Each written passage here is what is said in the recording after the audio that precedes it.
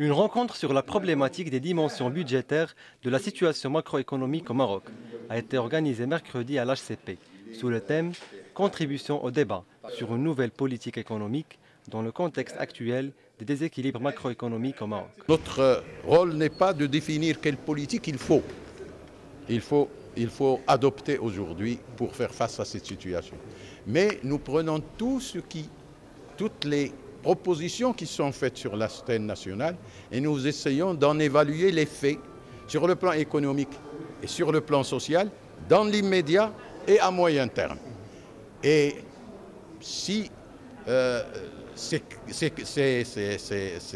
analyses, ces simulations des impacts vont permettre à, euh, aux décideurs comme aux euh, différents opérateurs de pouvoir situer l'impact de leurs propositions.